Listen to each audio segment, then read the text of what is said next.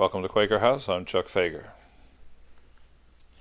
Quaker House is mostly a peace organization, but we're also concerned with issues of justice. And a very salient issue along that line these days around here has to do with justice for lesbian, gay, bisexual, transgender people in our community and across the state, across the country. Last week, a sermon was preached in a Baptist church Fayetteville. And in that sermon, the pastor focused especially on what he called God's plan and made it clear that as he understood it, gays and lesbians, bisexuals, transgender people had no place in God's plan. And in fact, their very existence was a blot and a contradiction to God's plan. Well, we have a different understanding of God's plan. And there's been a lot of media controversy generated out of that sermon. In the days afterwards, the preacher kind of backtracked some. He edited the transcript of it and even issued a kind of a limited apology and has had extensive interviews with uh, various media outlets.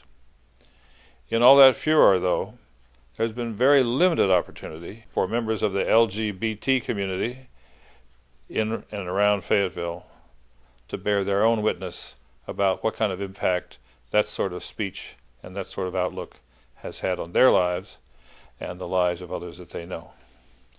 So we decided at the Quaker House that we would invite some of these folks to come and bear their witness about this, and that's what we're going to do. We have six folks from around our community who are going to speak to you soon, and briefly, I think you'll find some of them very vivid and even powerful. Before we do that, though, we're going to show a series of short clips from the original sermon. These don't really include the most notorious or famous ones that are most familiar, the ones about squashing like a cockroach, any signs of any sort of uh, gender variance on the part, particularly of young children. We're skipping those because they're so well known, and it turns out that there were several other clips that were, in our judgment, equally egregious and worth taking paying attention to. So, after those clips, which may be difficult for some viewers, I just want you to know. And we're sorry about that, but we think it's important for background. We'll hear begin, from six people, beginning with Reverend Catherine Royal, who's the co pastor of a ministry that is especially welcoming to GLBT folks in and around Fayetteville, North Carolina. Can we roll those clips, please? Activist judges in other states have issued decisions redefining marriage to make it genderless, thus imposing same sex marriage without people of those states being able to vote. By the way, let's just recognize that the very term same sex marriage is a politically correct term in an effort to minimize the stigma that's associated with such unnatural and sinful behavior.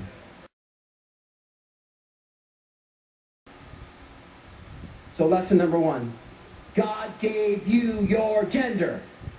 God gave you your gender. God gave it to you. God designed you to be a male. God designed you to be a female before you were even created. God knew you and ordained that you would be a male or you would be a female. And anytime you indicate gender dissatisfaction, you are sinning toward God. Anytime. Anytime you look in the mirror and say, God, I wish, well, I, that has never happened in my entire life. I, I, I mean, I can't, I can't even finish that. I mean, I, that, that, that is beyond comprehension. Okay? Transgender operations are an affront to God. They are an affront to God. And yet we have evangelical churches, and we use that term extremely loose this morning, who in fact have people in their congregations that were born females and have now done whatever it takes to present themselves as males. That is an affront to God. Men ought to act like men, and women ought to act like women. living out gender distinctions glorifies God. Did you get that? Let's go over it one more time. Number one, God made you. Number two, Christ died for you, so you believe in Christ.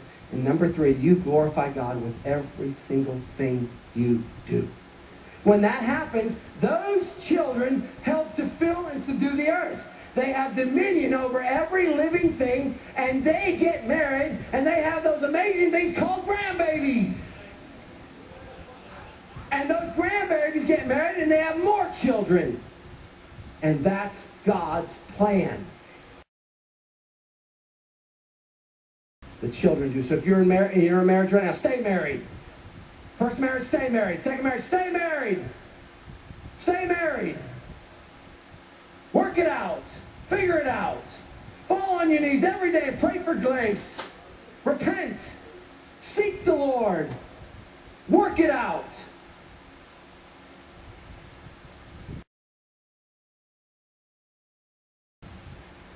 Say, what's the government's role? I'll tell you what the government's role is. Government should promote and define marriage as one man and one woman because that is the best union to produce children in the most natural, efficient, and beneficially productive means. You say, what about artificial insemination? Artificial insemination should be used only for those married couples that cannot get pregnant. It is not a means to have children outside of marriage. It is not a means to have children outside of marriage. I really don't want to deal with that dude. He's such a pain, but I would love to have a little baby. So I go to a donor center and I find anybody and allow them to. No, no.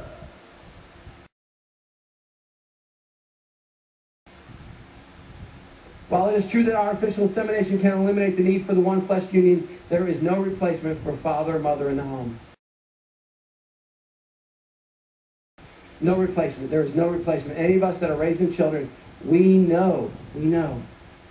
I tell my son all the time, the only reason you're still alive is because your mom's here.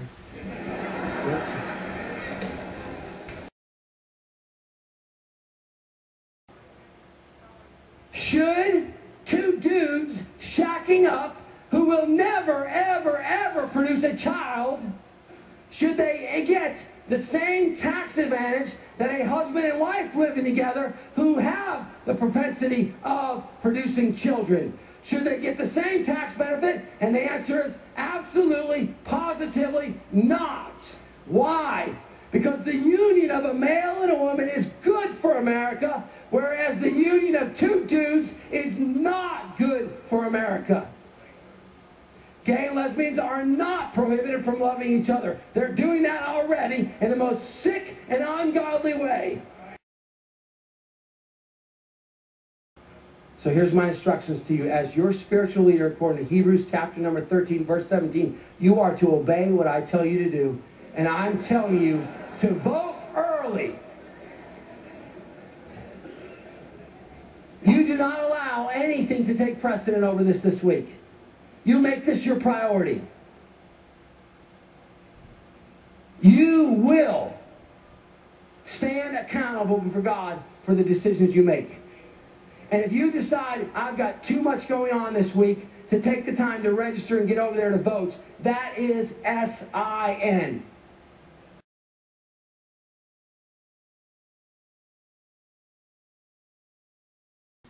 Uh, absolutely. Um, I I heard a sermon like this for honestly the first time when I was 17 years old. I had known since I was about 14 that I wanted to go into the ministry, and the church I grew up in did not speak about the issue of homosexuality, uh, being transgender, nothing like that. So I didn't really know that there were Christians that took issue with this, that thought that the Bible taught against it. Um, I knew I was bisexual at the age of seven, although I didn't have a word for it until college. I never told anybody about it except for obviously the people that I was seeing throughout the years.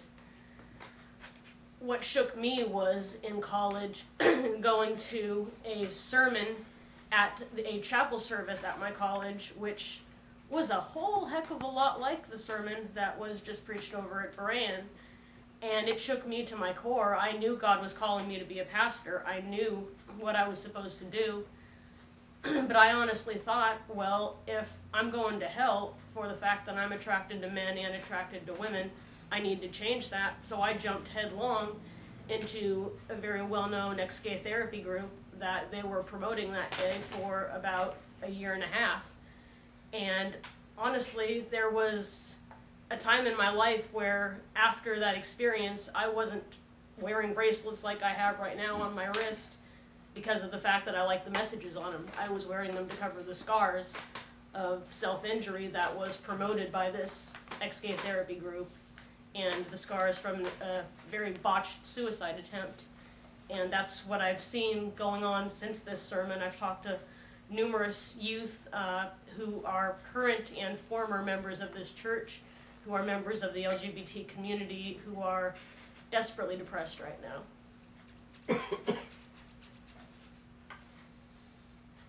Say, can you say a little bit about um, how your own theological perspective differs from his and, and what you think the crucial points that we ought to understand are? One of the things that bothers me, honestly, the most with so many churches nowadays is I see this thing called, many people call proof texting, where somebody will lift a verse or a few words out of a point in the Bible and use it to promote whatever point they're trying to make. They take it out of the context of the overall message of the Bible. that has been done throughout the years to condemn pretty much everybody who's different. It was used at one point to condemn interracial marriage. It was used at one point to promote slavery. It's now being used, as it has been for a while, against the GLBT community. People don't seem to realize the first Bible was not written in English in a society where we had concepts of sexual orientation, of what it meant to be attracted to one another, of what any of that was, and words like homosexual offender, words like transgendered, words like effeminate, that's not what the original translations were. That's not what the Hebrew, the Greek, and the Aramaic said. And what the real big error here is, is what's really condemned in the Bible is not what we're being told is condemned, but are things that exploit people, things that harm people, like pederasty, like rape, like gang rape in a couple of instances, and not anything having to do with the love and commitment between two people, regardless of their gender.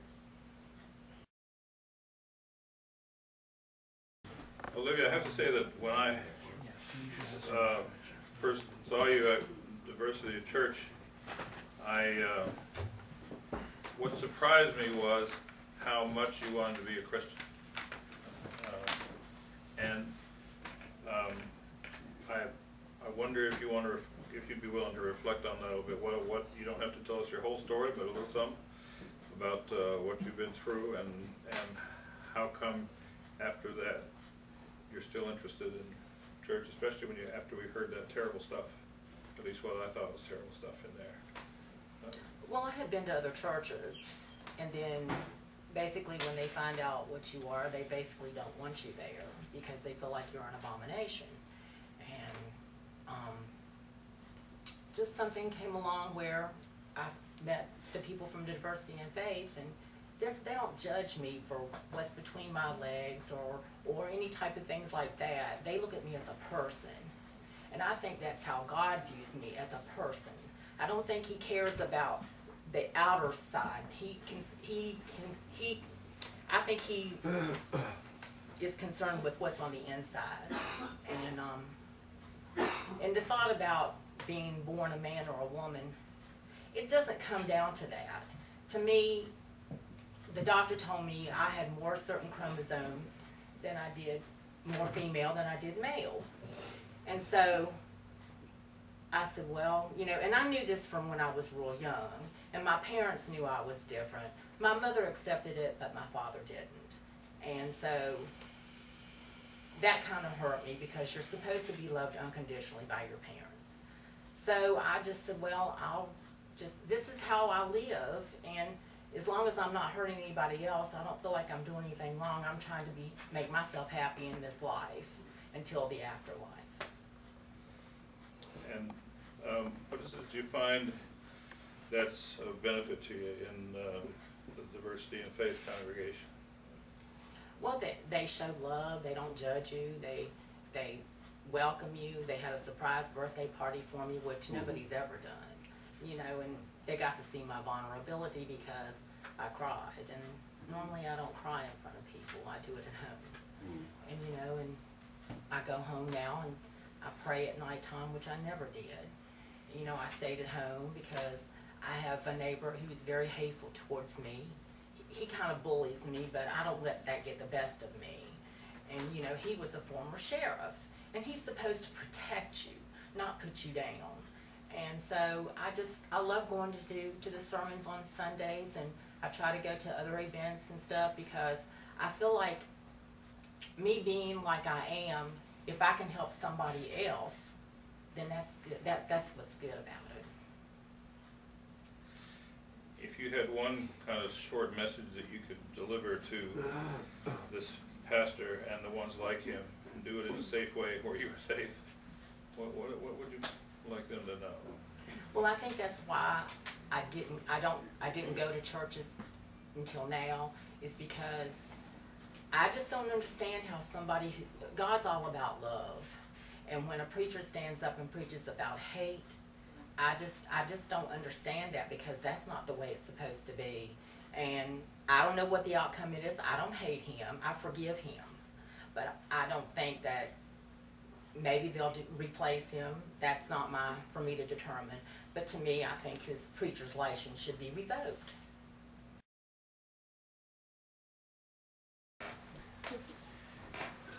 Now, this is Wayne Riggins. He has the great distinction of being a resident of Hillside Avenue, here where we are here, down the street son. Um, I gather you're a physician. I believe I've been told you're also a military veteran, is that right? And um, you live here with your partner. Right, Uh, How long have you all been together? twenty years. Okay, um, and a couple years ago, the legislature had a bill that they dealt with about, uh, bullying, as I recall, and I believe you wrote a piece in the paper. Sure. Um, could you describe a little bit about what you wrote about and, um, how that might relate to what we're dealing with today? Sure. First, I'd like to say, as a preface, I, I think in times like this, that uh, it's easy to say things that add more heat than light. And uh, so I try in public discourse not to do that. So to that end, I'd like to say that if I, as a physician, could prescribe an antidote for this kind of video, I'd recommend that uh, young people who might be troubled by some of these issues um, look to the internet, to a video by Matthew Vines, The Gay Debate, uh, The Bible and Homosexuality. He's an enlightened, young gay Christian, Harvard educated.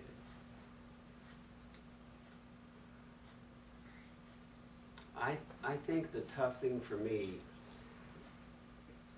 when things like this happen is um,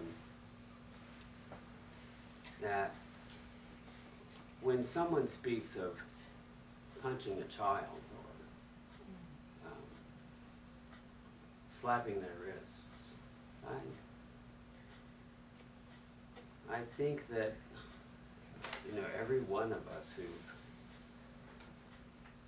been slapped recoil, connected by uh, a collective unconscious recollection of those moments. And, uh, and that is really the ultimate injustice. So, this week, I find in times like this, I reflect and pray more. And so this week, I prayed for the young children of faith who stopped praying this week. Because they um, confuse abusive sanctimony with theology. because this is a kind of erosion of the soil, soul that occurs, that occurs slowly. When people like me, doctors or other people of uh, perceived moral authority or other kinds of authority, uh, with in fact actually variable amounts of wisdom, uh, make pronouncements. So I would just say to those kids that when you uh, stopped praying, I started.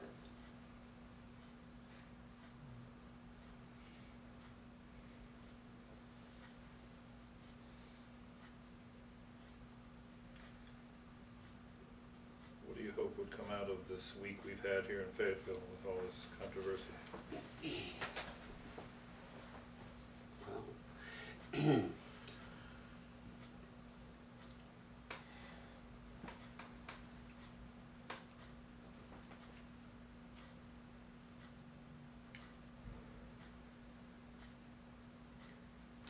Well, of course, the best thing that could happen in the short run is that um, this would be um, a moment of reflection. Um, that we would all realize the moral burden with which we encumber ourselves when we make these kinds of pronouncements, especially if they occur in the setting of what seems like theater. It's a good word, I hadn't thought of theater. And, and that there's a burden we carry for that, and I, here's the burden. I prayed for that, I prayed for that congregation and that minister, I prayed that they never knelt as I did beside a coffin and prayed and, and, and cried until their face hurt and their stomach cramped and their knees were numb because someone they loved had put a bullet through their head. I pray that they are spared that. Because I can tell you then that no um, ego-driven flight of fancy or indulgence will bring that child back.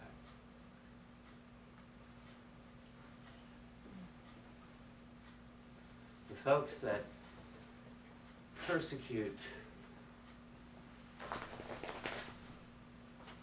often lack that insight because it hasn't touched them personally. But how many times have we seen that change when it touches their children or their grandchildren or their friends? You know, the thing that I find hard to digest in the context of the church is the young men that persecuted Matthew Shepard decided on a fence instead of a cross. That was the had. So, I cannot get my brain around the moral persuasiveness of these points. Um, one other thing, I'd say that part of what I found useful in this, something I think we should reflect on, and certainly we should reflect on it before Tuesday, uh, in my view, but every day. Um, Fifty years ago, this country was affected by the scourge of Jim Crow laws. Here's the practical impact of those laws. There were some folks who, by a quirk of fate, were fair-skinned enough that they were seduced to, for the sake of real convenience, being able to eat at a restaurant or go to a bathroom or take a shortcut through a neighborhood or travel through a part of the country where access could be difficult. To engage in the erosion of their soul.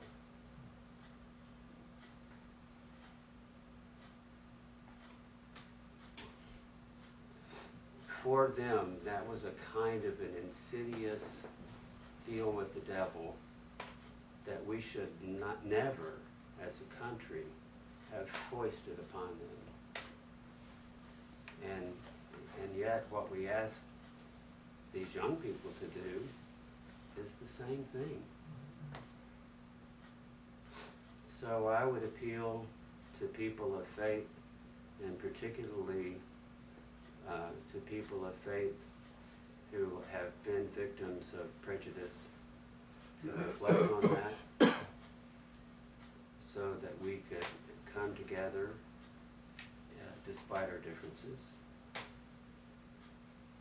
And one thing, and that is that we should never write into law that anyone is less equal than anyone else.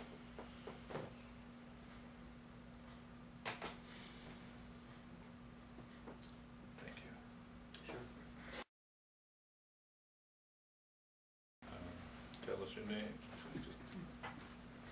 It's uh, Yovanka Mintz. Could you relate to what, some of what uh, Wayne just talked about? The year that I was born, I was legally considered the bastard child of my parents. Although they were legally, morally, and biblically married, it was not considered legal here in North Carolina or in 30 other states in the United States. I was born in 1964, and so for the first three years of my life, I was an illegitimate child. Not until 1967 when the U.S. Supreme Court made it legal for interracial couples to be married. Um, it was then at that point my parents were considered married. Um, growing up, I, I heard how I was an abomination of God and that biracial children should have been put to death at birth. Uh, my mom would tell me about places that she couldn't take me, um, places that she couldn't go with my father. There are movies that I've watched over the years of um, different things that went on during that time, and um, honestly, it, it, made me mad that my parents would even bring a child into the world at that time um, because it was un- unsafe for them, let alone me. And it's 48 years later, and the same arguments that people used against my parents, they're using against me. The same biblical scriptures they used to say that my parents shouldn't be married, they use to say that I should not be with my fiance.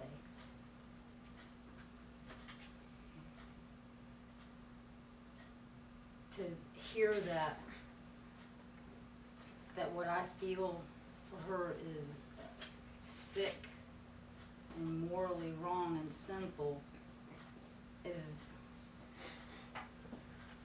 is unreal because I, I, I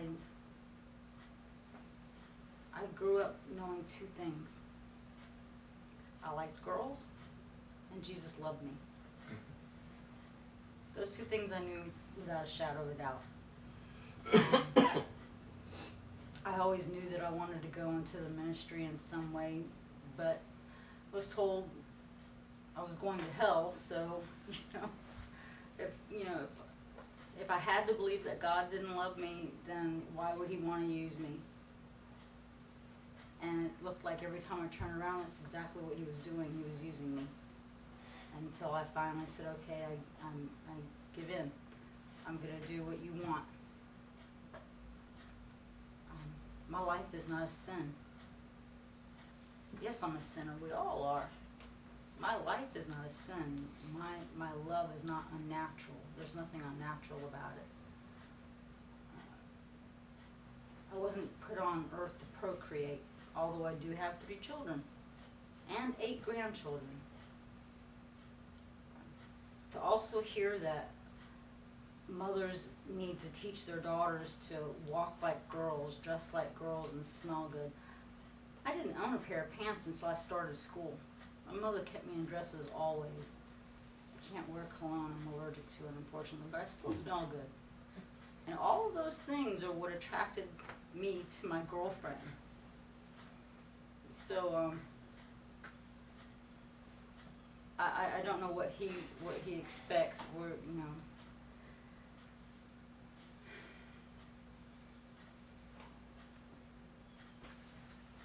I'm fighting the same fight my parents fought. It's not fair.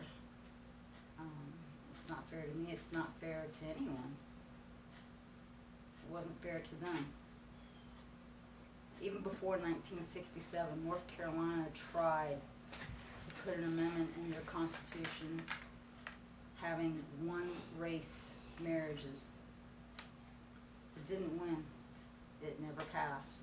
Um, So here again, they're trying to put hate into the Constitution. It's not gonna win. People aren't gonna let them do that.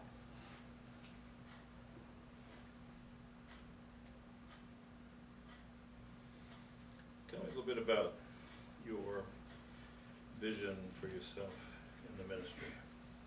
And I know, I'll let the world in on, you've been studying horticulture.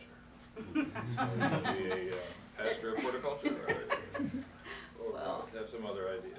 I, I started by saying that I'll pray to those plants that don't wanna grow and but so far it's working wonders for my tomatoes. Um, uh, to me, they go hand in hand. Um, earth is nature. God is all around. It, it just goes together.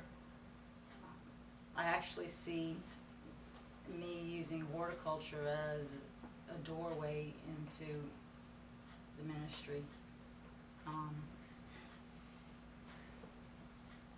I've just recently been elected the first deacon of, of our church, Diversity in Faith. And um, I'll be the deacon for a year.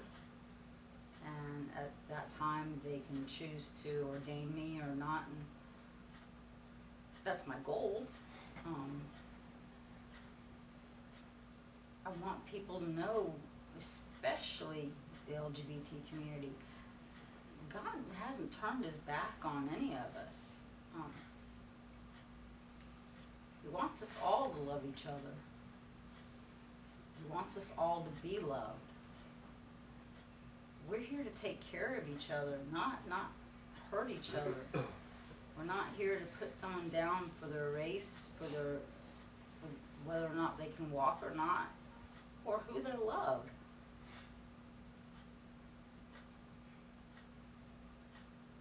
That's not my God. My God doesn't do doesn't do hateful things to people. Uh, he, my God teaches love.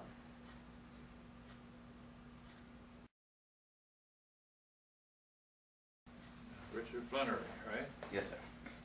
And um, you said you grew up uh, Pentecostal. Yes.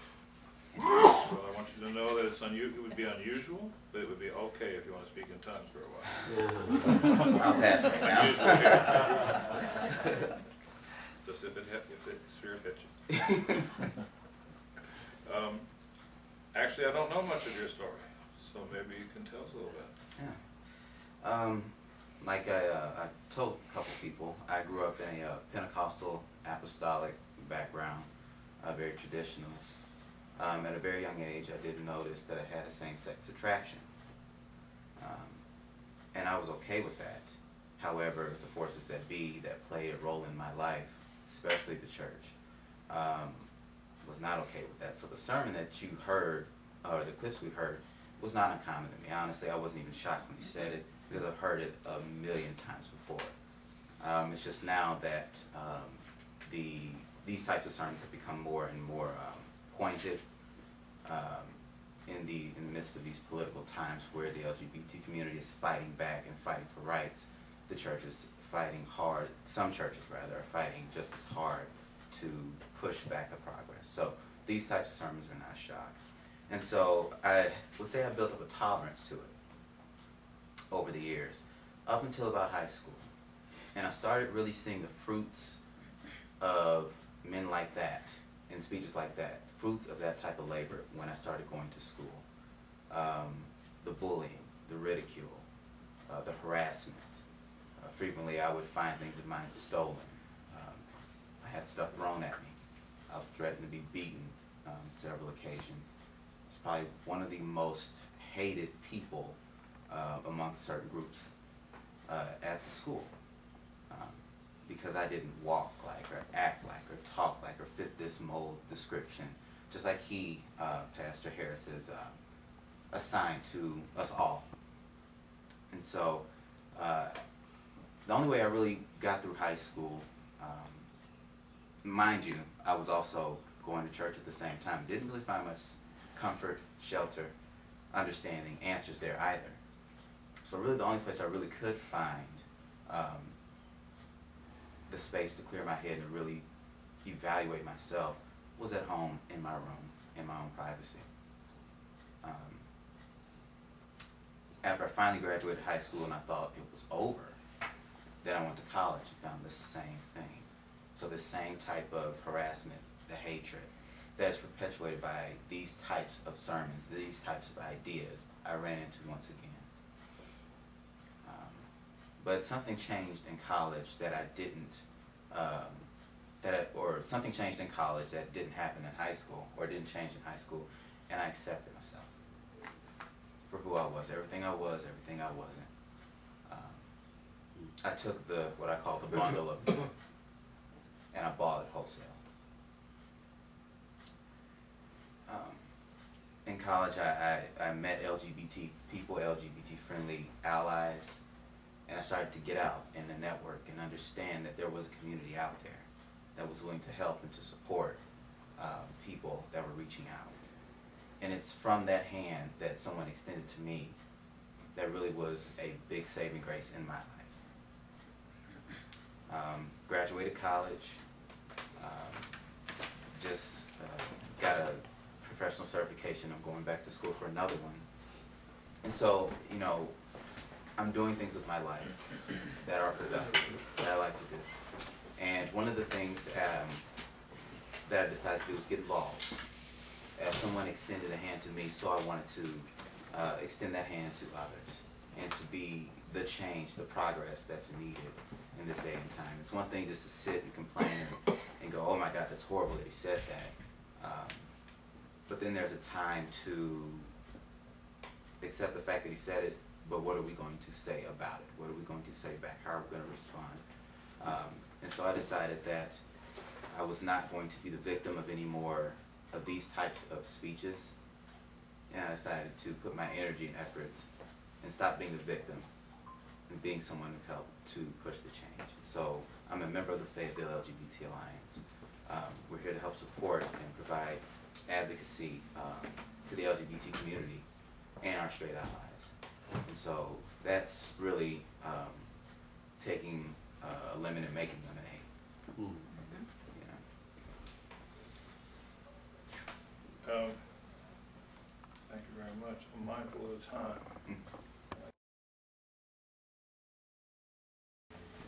Roberta Waddle, you have a very special place here. You have been very kind. Us a little bit about what's on your mind. Well, many things are on my mind. It's hard to decide where to start.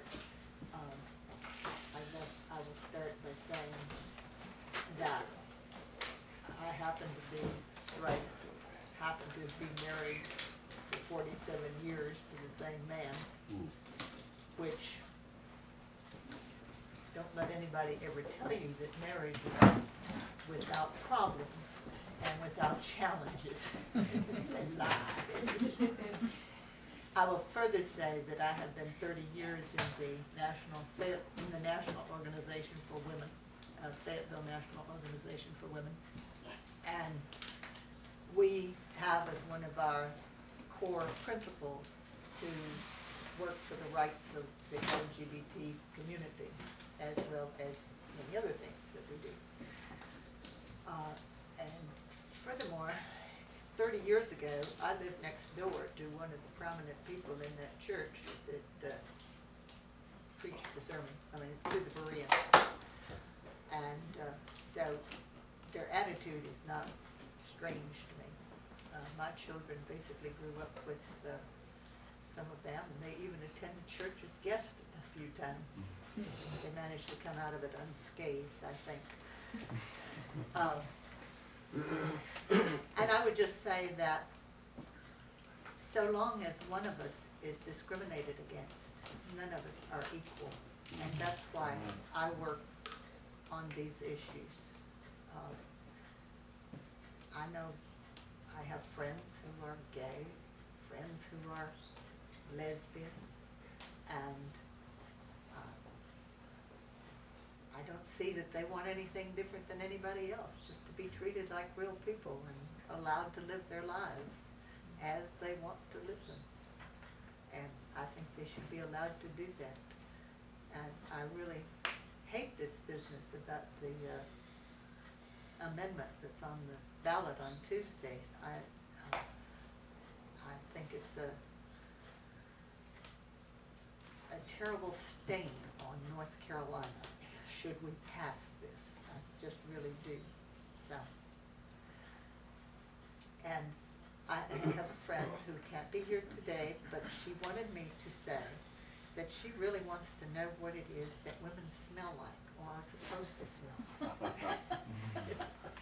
Uh, We both had daughters, and we're a little confused.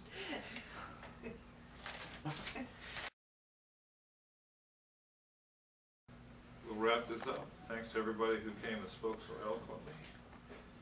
And uh, if anybody's watching this on YouTube, I think you have had a chance to see some very valuable witness in a situation that's gonna go on. This was sparked by an election that's set for the eighth of May.